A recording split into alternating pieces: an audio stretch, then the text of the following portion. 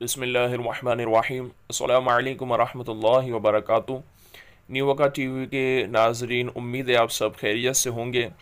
آج کی اس ویڈیو میں ہم بھوت کو خواب میں دیکھنے کی تعبیر کے ساتھ حاضر ہوئے ہیں۔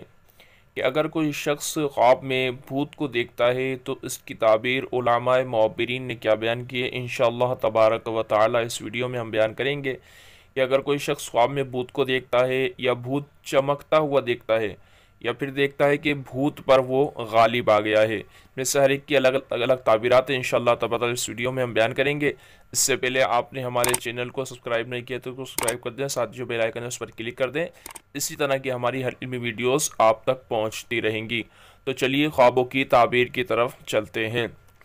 اگر کسی شخص نے خواب میں بھوت کو دیکھا تو اس کی تعبیر علماء معبرین نے بیان کی ہے۔ کسی آفت کے نازل ہونے کی دلیل ہے۔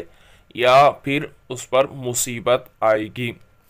اگر کوئی شخص دیکھتا ہے خواب میں بھوت کو چمکتا ہوا، تو اس کی تعبیر علماء موبری نے بیان کی کسی دشمن سے دور ہوگا، لیکن وہ تکلیف اور دکھ اٹھائے گا۔